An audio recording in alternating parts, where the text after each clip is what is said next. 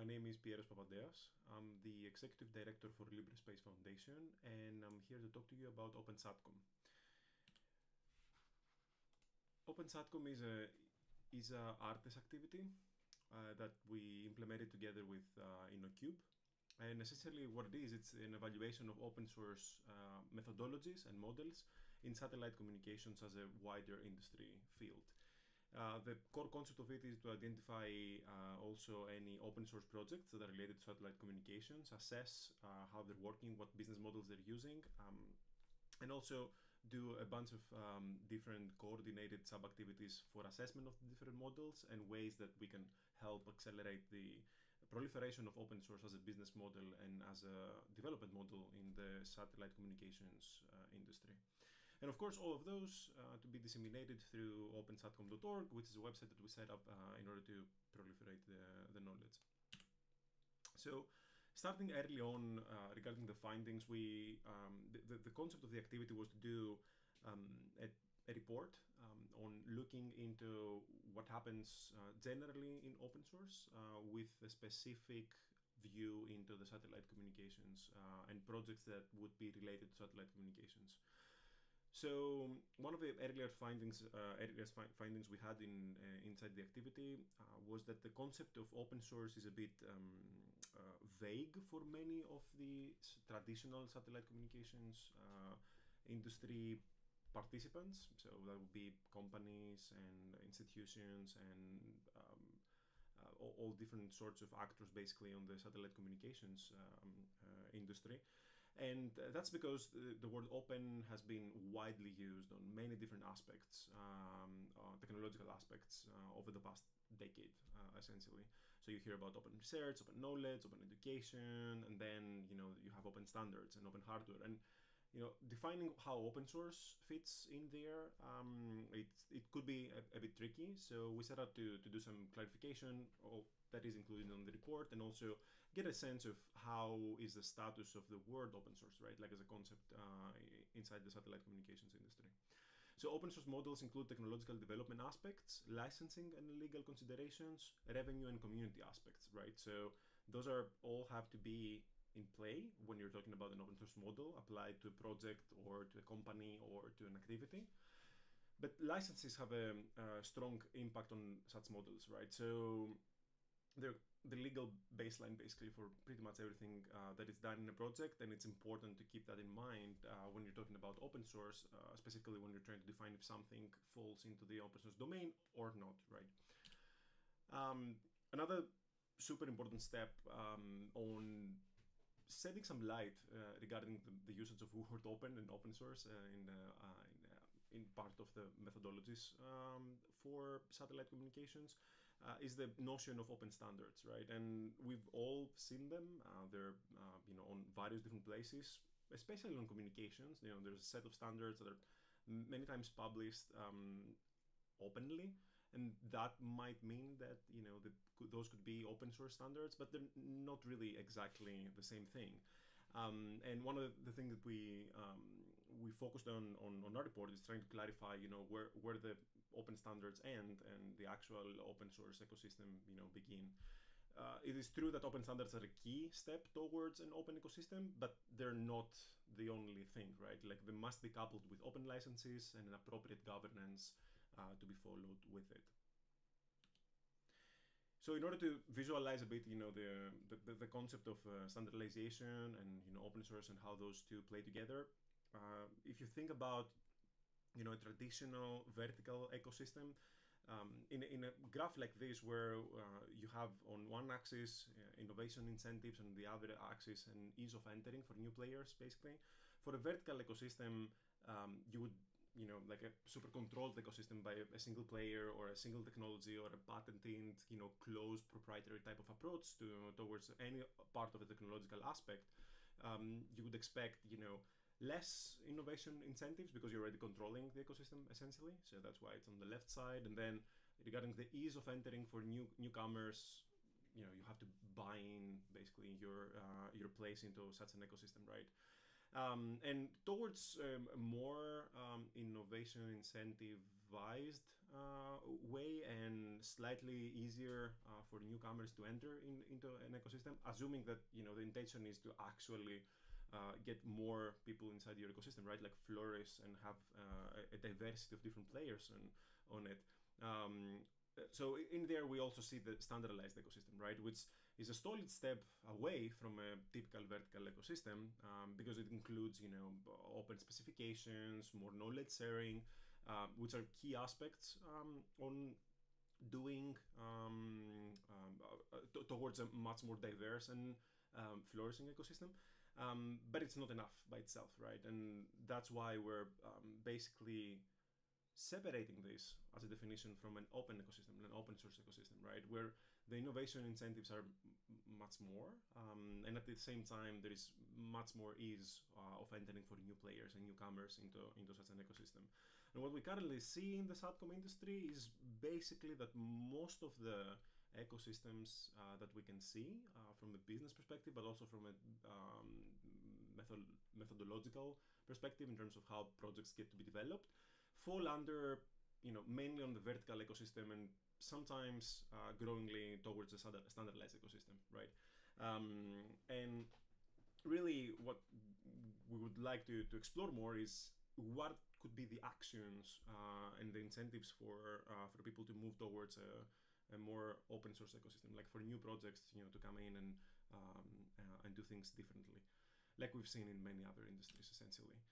So, you know, open source uh, is nowadays the, the base is of many different technical stacks and it's used on many different uh, industries. Um, this is, you know, undoubtedly something true on very large industries. Um, you know, judging from what we've seen on the software industry in, in general, right? um, like for infrastructure and you know backend development and front end development and uh, you know arranging different um, uh, suite of different um, projects that are primarily you know open source uh, development and they're working using um, open source um, methodologies right and many different licenses but still towards the same direction um, and that's why we, we set out to, to do the report basically, right? And um, um, inform as much as possible, uh, basically, based on this activity, um, the broader ecosystem of the satellite communications ecosystem, right? The SATCOM ecosystem, uh, towards what could be different ways of doing things, right? Um, and the description that is uh, mostly wanted uh, and uh, something that is really uh, key to any aspect of development for a new project is of course the business model itself right and that could, could mean the sustainability model or it could mean the profit model depends on who's the actor right um, and, and for us what we try to do is uh, draw some parallels uh, from super successful um, open source business models that are out there and examples of those uh, open source models to things and projects that we could see into the SATCOM um, uh, ecosystem, right? And of course, it's not going to be like a one-on-one relation to, to that. And sometimes, you know, especially in the SATCOM industry world, um, uh, essentially things are still um, uh, on their first steps. Um, and uh, but there certainly is a movement towards uh, moving to- to- towards a such a direction, right? So, namely, uh, a business-to-business open source model is a typical model that is uh, used a lot on many outside the SATCOM world, right? Um, like Android is a prime example, and inside the SATCOM world, Capella as a project could be uh, categorized as such, right? Regarding a controlled ecosystem, WordPress is a fine example of an open source controlled ecosystem uh, business model. SatNOGS, on the other side, on, SATCOM world, is the, the, the equivalent, let's say, uh, in terms of ex- exertion of control uh, inside an ecosystem. Um, you know, common upstream, you know, OpenSSL on the broader world, Orekit, uh, most probably can be categorized as a common upstream open source business model um, uh, for that. And then you, you have a, a, range of different things too, right? Like ethically open source, like Diaspora, for example, or poliastro on, on Satcom, right? On open hardware um, and design focused, like Arduino uh, um, as a project in, um, in the broader world, and HackRF inside the communications mostly, uh, and by by extension to satellite communications. Um, and, and and the description of um, all those business models and various different paradigms can be found in, um, in inside the report. So it's actually worth reading uh, and, and seeing what could be the advantages and disadvantages and what could be also the different uh, kinds of investment um, that as a project uh, you would like to uh, you, you should do in order to, to invest in your business model and make it successful for uh, for your project uh, during the um, overview um, seeing uh, trying to identify different projects basically um, inside the satcom industry we came up with a list of um, almost 100 um, different projects um, that are open source based on their license, right, and their availability uh, in the world, but at the same time they're related to satellite communications, right. Uh, and what we've seen from that, uh, this is a full list, by the way, um, that could be can, can, be found also on the website, uh, which is opensatcom.org. Um, and from from the projects identified, uh, we see the vast majority of things uh, are software, right, and it's only a handful of hardware and standards and online services that uh, could be found. And this is um, a typical example of an early um, movement towards open source for an ecosystem. You would start from software, right? Like uh, because it's the most um, easily maintained, let's say, open source um, project uh, based on the tools that are out there, based on the experiences that are coming from different industries, right? And and, and this is um, exactly what we've seen also in, in, in this early development of satellite communications towards a more open source ecosystem, right?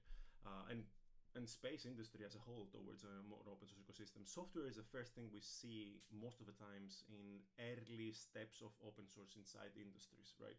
And, and this is uh, exactly what we confirmed by uh, doing this survey.